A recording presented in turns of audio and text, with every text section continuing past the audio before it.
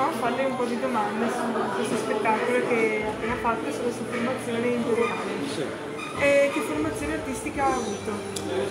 Allora, eh, anche se può sembrare strano, io vengo dal mondo del punk rock quando avevo meno di vent'anni, la mia esperienza musicale, diciamo così, è iniziata con lo strumento basso e ho cominciato a cimentarmi nella qualità di bassista punk eh, all'inizio, poi diciamo eh, con gli anni mi sono avvicinato anche a- al genere contaminato tipo là, il punk hardcore, arrivando anche addirittura all'heavy metal.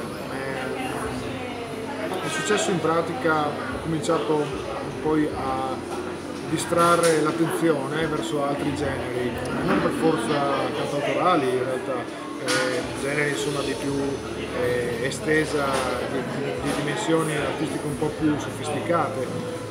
E fino a che un giorno, così per diletto, ho cominciato a scrivere dei testi.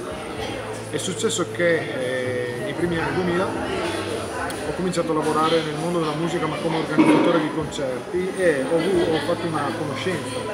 Ho conosciuto Roberto Fricantoni, il leader degli Schiantos, e siamo diventati ottimi amici e un giorno, avendo questi testi in mano che raccontavano la mia terra, raccontavano il nord-est, secondo il mio punto di vista, ho eh, presi eh, il coraggio a due mani e proposi questi testi. E Frick mi disse eh, Fabio scrivi delle cose interessanti, solo che io non posso cantare queste cose perché io vengo dall'Amps bolognese, quindi una realtà culturale completamente diversa. Se vuoi, eh, creiamo un paradosso, ovvero la voce del nord-est e la voce della violentissima Bologna del punk rock anni 70, la portiamo insieme sul palcoscenico e da lì abbiamo creato questo spettacolino che si chiamava Anche troppo per le vostre orecchie, per ben 36 volte assieme a Roberto Fitapone ho calcato i palchi del nord Italia. Ho imparato un po' i metodi della comunicazione e anche dell'ironia se vogliamo.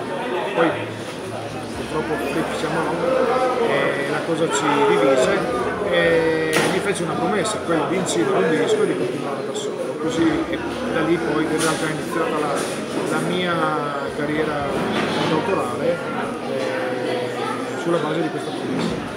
Quindi lei ha già avuto altre esperienze nel cantautorato oltre a quella di stasera, io, no, sì, io- e Massimo Massimiliano ci, ci conoscevamo prima, lui eh, è uno scrittore pordenonese molto conosciuto eh, e io diciamo nel pordenonese, in Friuli, vengo descritto un po' come il cantore del nord-est, quello che racconta un po' la storia della vita operaia, oppure la trasformazione sociale eh, del nord-est. Sembrava abbastanza ovvio e compatibile che insomma, queste due voci eh, si venissero incontro per creare questo spettacolo e abbiamo creato ormai un anno fa eh, Solitari Padani Umani che semplicemente è un incrocio di intenzioni e di idee eh, tra due che insomma, hanno la stessa visione su quello che riguarda il nostro territorio.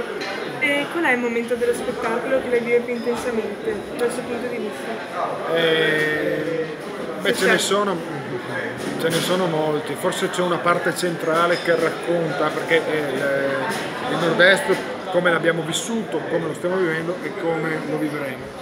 E c'è una parte molto desolante, una visione futurista abbastanza eh, drammatica che mi emoziona molto forse perché effettivamente come la, la sensazione che, che corriamo il rischio che queste cose che eh, Massimiliano racconta in maniera fantasiosa si possano, si possano avverare.